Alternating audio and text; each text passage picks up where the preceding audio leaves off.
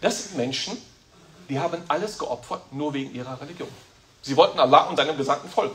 Und wenn das bedeutet, mein Haus ist weg, dann bedeutet es das. Und wenn das bedeutet, meine Familie ist weg, ist die Familie weg. Aber ich folge Allah und seinem Gesandten, ich kann nicht anders.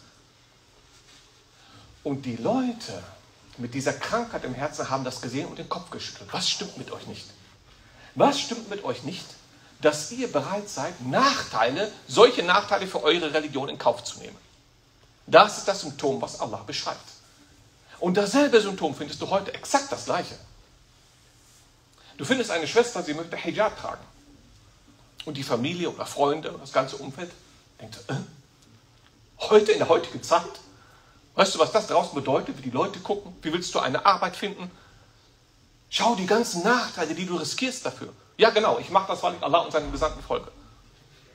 Willst du so glauben wie die Idioten? Es ist dieselbe Einstellung dahinter. Es ist dieselbe Einstellung dahinter. Wenn jemand sagt, ich mache diesen Job nicht, weil es gibt Haram drin, oder vielleicht bin ich ganz sicher, ob es halal ist. Das ist gutes Geld, Mann. Willst du das wirklich riskieren? Willst du so glauben wie die Idioten? Ja, diese verrückten Extremisten, die machen es, aber hm, so sind wir doch nicht. So sind wir doch nicht. Ich kaufe kein Haus mit Zinsen. Ich habe Angst davor. Allah hat Krieg angekündigt im Koran und ich bin einfach vorsichtig. Ich will das nicht. Willst du so glauben wie diese Leute? Ernsthaft wie die? Willst du das machen? Ich schnapp mir keine Freundin. Ich lebe nicht so. Ich lebe nicht dieses Leben. Und die Leute gucken dich alle schräg an.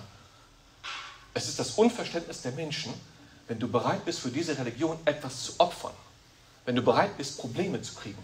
Und die Leute gucken dich an, als wärst du verrückt. Als hättest du einen Verstand verloren. Das ist das Symptom, was Allah hier im Koran beschreibt. Du schaust herab auf die Menschen, weil sie für diese Religion Opfer bringen. Das ist ein Symptom.